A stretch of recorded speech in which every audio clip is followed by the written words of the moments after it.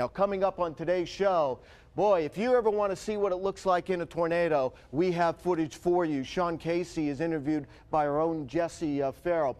Evan Myers is back with me today. We're going to go inside the numbers and discuss the upcoming hurricane season compared to last year. Of course, this is an interactive show, so we're going to be fielding all your questions on Facebook and Twitter. It's been a much different story, though, in the middle of the country where we've been dealing with days of severe weather. Jesse has some incredible video to show us from one of those storms.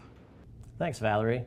I'm here today with Sean Casey, IMAX filmmaker and storm chaser, who got his Tornado Intercept vehicle into an EF3 tornado on Monday. Sean, when I met you in Pittsburgh in 2011, you said your life dream was to get IMAX 3D film inside a large, violent tornado. Do you believe that you accomplished that on Monday? Uh, I I don't know. I haven't seen the footage that I shot. Uh, Brandon was shooting, of course, out the front windshield um, to the north. I was I had the similar shot up, but I was higher up in the turret. Um, I actually had abandoned my camera while I was running to seek shelter in the TIV. Um, at one point, the camera actually got blown back um, into the vehicle. Um, but we did shoot about 800 feet of film, so that's about two minutes and 30 seconds.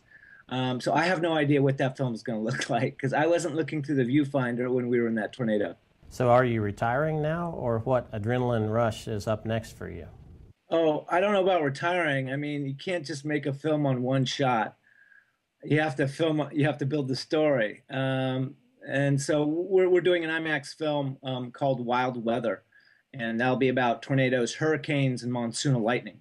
So I, I hopefully we've got the money shot, if you will, for the tornado sequence of, of that film. Um, but we still have to film the hurricanes um, and, of course, the lightning.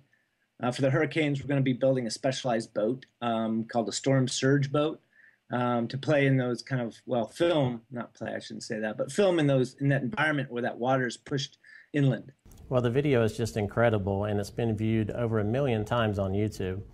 How much was the tornado intercept vehicle damaged, and was anyone injured? Uh, no, no one was injured. Uh, uh, as far as damage, not. I mean, there. It looks like, you know, someone took a very large shotgun to the vehicle. It's peppered with dings and hits and scratches all over, but nothing really put a massive, you know, dent into it. We were hit by a hay, uh, one of those big round uh, hay bales, but you know that really didn't leave a mark. Um, so you kind of want to have that that that scar that that that you know on the vehicle that kind of uh, you know you know as a, as a memento from that occasion but uh, in a way I mean, you don't want that uh, you don't want to experience it in the vehicle of course. But the vehicle's fine. It it you know we were in those winds and it did not move. It was rock steady. As a matter of fact one of our facebook fans has a question. He wants to know what was the bright orange flash near the end of Brandon's video? Yeah, when we were taking all that debris, I was looking actually um, to the rear of the vehicle. So we were getting the heaviest winds pretty much from the south, southwest. Um, and things were impacting the TIV, and you'd see these sparks off the vehicle. And I, I thought, and even off our polycarb windows, a type of plastic. And I, I, I thought it was electrical line that was flopping against the TIV. There were so many, it, they were just the, the, sparks were from friction impacts from debris. Um, the video that Brandon shot, you know, it shows one object kind of like going across the um, front windshield.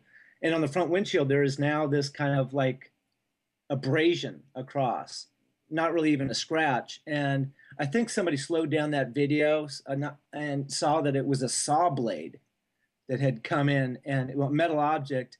And actually, when it it hit plastic so fast it created a spark. And I've never seen plat, you know, polycarb. There might be metal in polycarb, I don't know, but it was the vehicle was just sparking, you know, dozens of times just from impacts.